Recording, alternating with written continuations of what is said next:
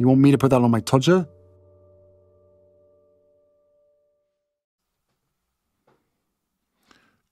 This one's wife. Do the duty. Hello, I'm H.G. Tudor. If you can rely upon one member of the royal family to be straight talking, it is the Princess Royal, Princess Anne. An individual who understands the meaning of service and getting on with it, rolling up your sleeves and doing what you're committed to doing, recognizing that she has a life of privilege, but with that comes an expectation, an understandable one, that you demonstrate service. As a normal, Princess Anne is an individual that does have emotional empathy, but for a smaller group of people. But she also has strong narcissistic traits. She's no nonsense. She calls it as it is. And many people admire her as a consequence of her hard-working nature, her substantial work ethic, and the fact that she's plain talking. This, of course, would have been problematic for this one's wife, and so it proves, as GB News tells us, Princess Anne issued tough and no nonsense advice to this one's wife do the duty. Dorothy Reddin writes Princess Anne issued some no nonsense advice to this one's wife, a royal commentator has claimed. The Princess Royal told the Duchess of Sussex that being a member of the royal family is a job as opposed to being a celebrity. Being told that will have been challenge fuel for this one's wife. The fact that Princess Anne is engaging with her provides her with fuel, thus, that is not an issue. The issue is this the fact that she is being told you can't swan around in expensive clothing which you've ponced off people for free you need to do some graft. No, not grift. Listen carefully. It's spelt differently. It's graft. This is a job, and you have to apply yourself. This one's wife is inherently lazy as well as being rather stupid, and she believes that everything should be provided to her for free. You might think that's an extraordinary worldview to have, but it is the one that she has, all generated by her narcissism. Her narcissism tells her that she is ultra special, and therefore she should receive special treatment, which means you should give her lots of money and she doesn't have to do anything in return. That other people can do all of the heavy lifting, she'll just issue the instructions. And thus, for Princess Anne to tell her this is something where you have to do your duty and it's a job would not find favour with her. Royal commentator Neil Sean took to his YouTube channel to explain how this one's wife sought out Princess Anne when she joined the royal family. Undoubtedly, this will have been done because this one's wife wanted to assert control over Anne and sought to do so by having a meeting with her. It wasn't because she thought to herself, who can I go and speak to who's been doing this job years, who will provide me with the best information about how I should conduct myself? I know that'll be Princess Anne. She's long in the tooth, part of the old guard. She's seen much come and go. She'll be an ideal person to talk to to give me some hints and tips, and so that I can navigate this new role for me much more successfully. That isn't the way that this one's wife's mind works. Instead, it's who can I get on side to make my life easier?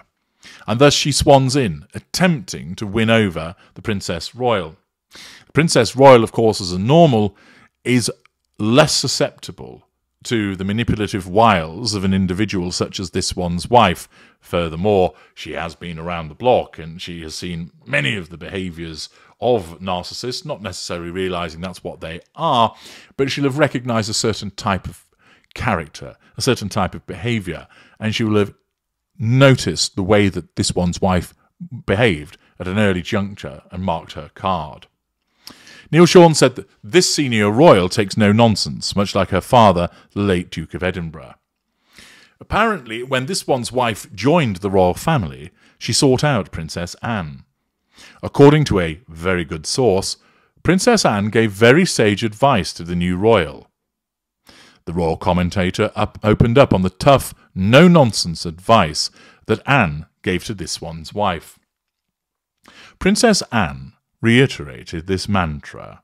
She pointed out that it wasn't a working monarchy, it was a job, You turn up on time, you do your research, and do the duty, Sean added. It's all about the project at hand. She also pointed out that whatever charities you are involved in, you needed to get involved and get immersed. As opposed to taking the advice head on, Sean claimed that this one's wife left the meeting dumbfounded. He continued, According to a very good source, this one's wife failed to warm to Princess Anne, and Princess Anne always knew that this one's wife would have a very short shelf life in the world of the British monarchy. Indeed, as I've identified, as a normal, she'll have noticed that there was something not right about her behaviours, that she'll have been seen as too demanding, too thrusting, too elbowing her way in, and not prepared to put in the hard yards. Naturally, when being told this isn't about playing at being princess and dressing up, you've actually got to do some graft, that would not have gone down well with this one's wife, hence her leaving the meeting dumbfounded. The article concludes by explaining that this one's wife and Prince Harry stepped down as senior working royals in 2020. The couple moved to California, where they are currently raising their two children, Prince Archie, 4, and Princess Lilibet, 2. The Duke and Duchess of Sussex made their last joint appearance in the United Kingdom for Queen Elizabeth II's funeral in 2022.